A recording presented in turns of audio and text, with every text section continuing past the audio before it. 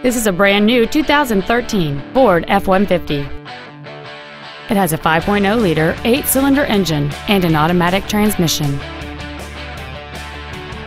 Features include a double wishbone independent front suspension, a low tire pressure indicator, traction control and stability control systems, 17-inch wheels, an engine immobilizer theft deterrent system, tinted glass, an anti-lock braking system, side curtain airbags, air conditioning, and an auxiliary power outlet. Stop by today and test drive this vehicle for yourself.